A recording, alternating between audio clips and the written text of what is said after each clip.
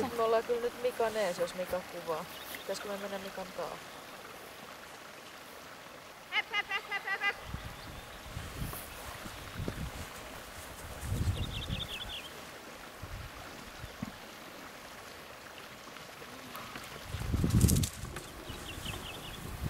Ää, me kerkeettä koiran mukana.